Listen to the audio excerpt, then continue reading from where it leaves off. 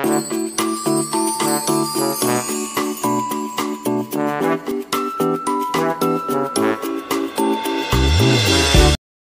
everyone. Let me talk about uh, lead poisoning.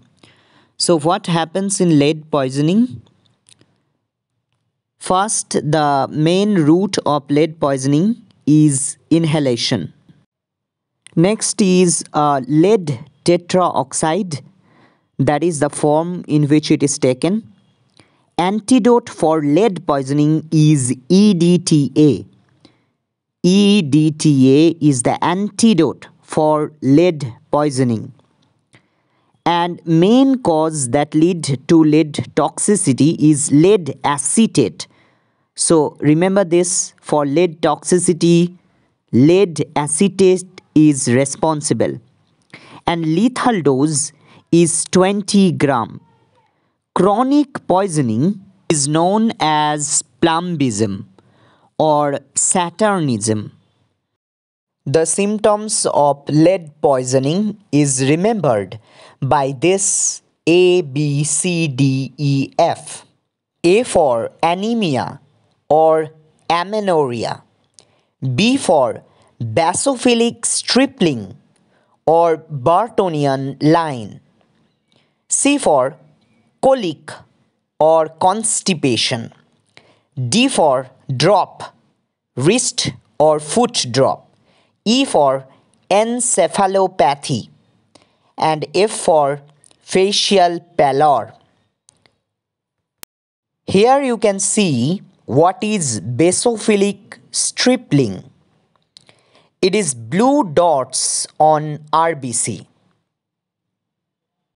Next I will show this Barton's line, also known as Bartonian line. It is a clinical sign that is found in the patient with chronic lead poisoning, Barton's line.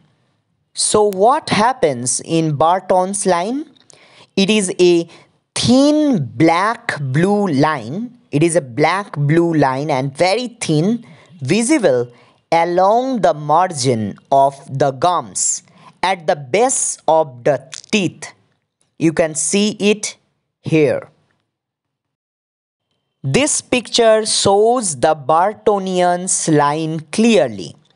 Blue lines on the gum. Can you see the blue lines on the gum? This is Barton's line, which symbolizes that the patient is a chronic patient of lead poisoning. The next symptom which we can find in lead poisoning patient is the wrist and the foot drop. You can see the left side is the wrist drop and the right side is the foot drop. The normal foot is dropped and normal wrist is dropped. Now let us talk about arsenic. First, make it clear that metallic arsenic is not poisonous. Why? Because it is not absorbed in the intestine. But arsenic oxide or arsenic trioxide is poisonous and it occurs in powder form. You can get in powder form. It has no smell, no taste, and partly soluble in water. Generally, uh, it is of two form. One is Scheele's green, S C H E L E. I think uh, the pronunciation is Scheele's green that is copper arsenite that is Scheele's green another is copper acetoarsenite copper acetoarsenite is known as Paris green. You can see the right side is a Paris green. That means copper acetoarsenite. And copper arsenite is Scheele's green. It reacts generally with the sulfohydryl group and interferes with the cell metabolism. Now let us learn about the clinical features that are associated with arsenic. So it is remembered as arsenic, A R S E N I C. A for Aldrich Mee line, M E E line, Aldrich Mee line. Second is R. R means raindrop pigmentation. You will get raindrop like pigment, rash, red velvety mucosa. You will get red velvety mucosa. Next is S means subendocardial hemorrhage. Subendocardial hemorrhage. E for excessive pigmentation. N for neuritis that is inflammation of the neuron, neuritis. I for iron oxide and BAL for the treatment. And C for mimics cholera. So these are the clinical features of arsenic poisoning. Now this is Aldrich Mee nail. You can see the nail of this patient. You can see the uh, white coloration.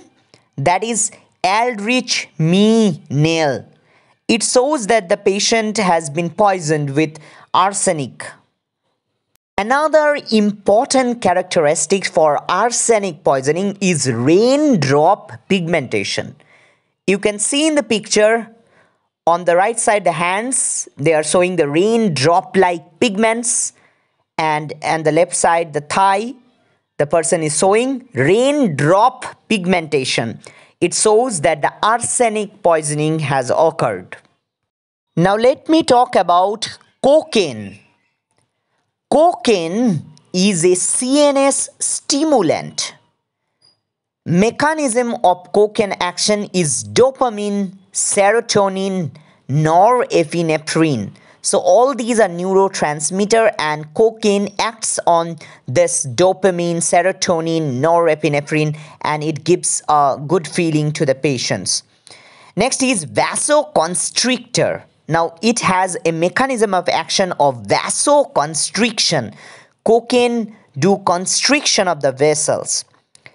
Now cocaine has been derived from a plant the name of the plant is Erythroxylum coca. Coca. Erythroxylum coca. From the leaves of this Erythroxylum coca, cocaine is derived. And cocaine produce tactile hallucination, also known as cocaine bugs. Now, what is cocaine bugs or Magnan bugs? The patient thinks or feels that some bugs or insects are moving or crawling on the surface of their skin and that is a kind of tactile hallucination for cocaine. Another is paranoid delusion. You know delusion means false belief. It is a fixed false belief that one or one is being harmed or persecuted by particular person or group of person these patients generally have psychological disorders of paranoid delusion which is a false belief that they feel that uh, everyone is trying to harm them or some particular person is trying to persecute them harm them and that is paranoid delusion. And if snipped it can cause nasal septum perforation. So generally it is snipped and it causes nasal septum perforation. It produces a hole in the nasal septum which I will show in the picture. Another is oral intake. If it is taken orally, it produces black jet tongue. Black jet tongue also I will show in the picture. And what is the antidote for a cocaine patient? amyl nitrate is the antidote for cocaine. Now in this picture you see the cocaine sniffing reaction what happens it is actually the perforation of the nasal septum. The nasal septum has been perforated because the patient has took the cocaine by sniffing through his nose. In this picture, you can see what happens if they take by orally cocaine oral intake.